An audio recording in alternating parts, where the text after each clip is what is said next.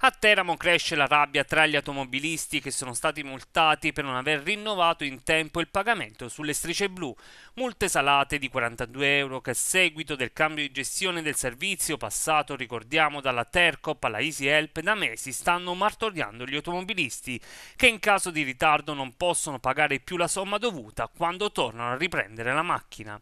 Una vicenda sulla quale è intervenuto il consigliere di opposizione Ivan Verzigli che ha chiesto all'amministrazione un intervento immediato. La problematica legata ai parcheggi viene, viene da lontano, viene dal, dal, fatto che non è stata affrontata con eh, il decisionismo che avrebbe meritato. Ricordiamo che eh, questo piano parcheggi è stato fatto, eh, è stato creato eh, senza una visione strategica di città nel suo complesso, dovrebbe essere risolta e affrontata soprattutto la problematica dovuta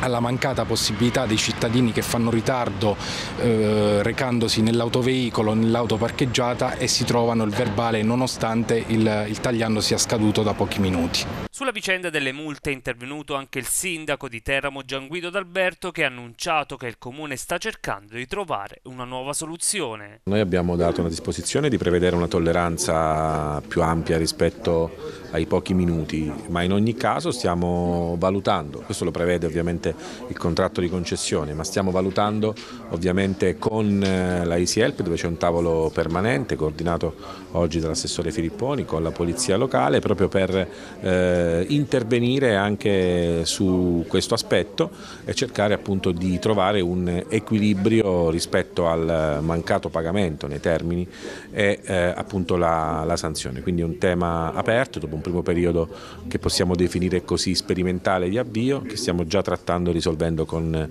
eh, con la Easy Help.